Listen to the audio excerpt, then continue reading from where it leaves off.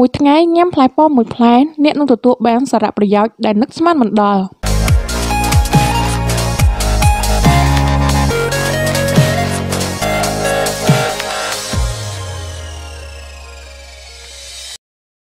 បើសិនជាឪពុកម្ដាយអ្នកចិត្តតែចង់ឲ្យអ្នកញ៉ាំផ្លែប៉ោមមួយថ្ងៃមួយផ្លែមានន័យថាគាត់ប្រហែលជាដឹងពីសុភាសិតមួយដែលនិយាយថា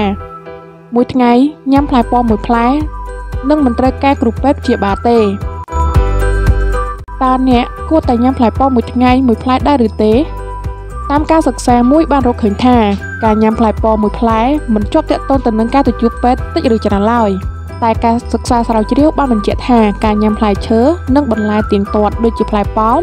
ជាផ្នែកមួយនៃរបបអាហារមានតុល្យភាពជួយបង្ការជំងឺរ៉ាំរ៉ៃនិងរក្សាសុខភាពឲ្យមានលំនឹងបានល្អ យ៉ាងណាមិញការបន្ថែមផ្លែប៉ោមទៅក្នុងរបបអាហារប្រចាំថ្ងៃតែងតែជារឿងដ៏ល្អមួយហើយក៏មានគុណប្រយោជន៍ដូចខាងក្រោមនេះ មានអារម្មណ៍ថាឆ្អែតផ្លែប៉ោមជាប្រភេទផ្លែឈើដែលរក្សាទំហំចង្កេះការដាក់ផ្លែប៉ោមតាមខ្លួនសម្រាប់ញ៉ាំជាអាហារសម្រន់ពិតជារឿងដ៏ល្អមួយទាំងពេលព្រឹកថ្ងៃត្រង់និងយប់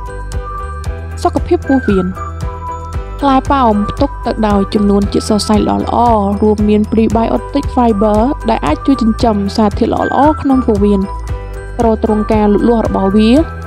និងផ្ដល់ជីវជាតិដូច្នេះហើយក៏អាចសម្រួលដល់ពោះវៀនរបស់អ្នកឲ្យមានសុខភាពកាន់តែល្អប្រសើរបន្ថយការប្រឈមនឹងមហារីកការសិក្សាជាច្រើនបានជាប់ទំនាក់ទំនងនឹងជំងឺមហារីកជាពិសេសមហារីកសួតតែម្ដង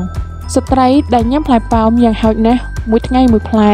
អាចបន្ថយប្រឈមនឹងជំងឺមហារីកសួតបាននាំមកជូនដោយទឹករ៉ែធម្មជាតិម៉ង់ក្លា